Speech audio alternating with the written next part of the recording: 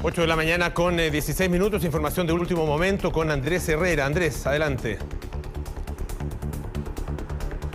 Claro, por una grave situación que se da acá en Providencia con Pedro Valdivia, en donde tres sujetos tras un altercado, uno de ellos saca un arma y le dispara a uno de estos hombres que está eh, en riesgo vital, el hospital El Salvador. Y antes de huir, justamente arrojan el arma que habrían utilizado, que está siendo custodiada por carabineros, a la espera que llegue la Brigada de Homicidios de la Policía de Investigaciones. Por mientras estamos con el capitán Gonzalo Muñoz, que nos va a entregar más antecedentes respecto a este hecho.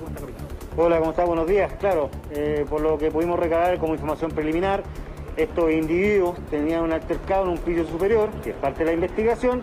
Posteriormente descienden al lobby donde ya la cambia, esto evoluciona de palabras a golpes, elementos contundentes para causar heridas y ya después de un tiempo uno de ellos extrae un arma de fuego y le propina cierto unos disparos en el tórax a la víctima, la cual en este momento es un hombre adulto NN, ya que no mantiene ningún medio para poder ser identificado.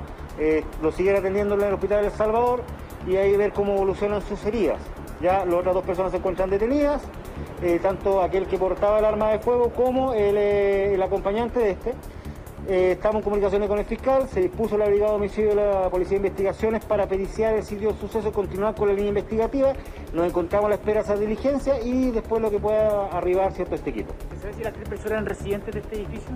En materia de investigación, por en primera instancia, como forma preliminar, no sabemos si eran residentes o eran algunas personas que venían a visitar a algún familiar o algún vecino. ¿Cuál es el estado actual de la víctima en este caso? Sigue en riesgo vital, en el Hospital del Salvador está haciendo todo lo posible, los médicos de turno, y vamos a ver cómo continúa la evaluación. Muchas gracias, capitán. Nos mantenemos acá, Polo, entonces a la espera de la Brigada de Homicidio de la Policía de Investigaciones, porque habría una cámara en el edificio que ayudaría a esclarecer justamente cómo habrían ocurrido los hechos durante la mañana del día de hoy.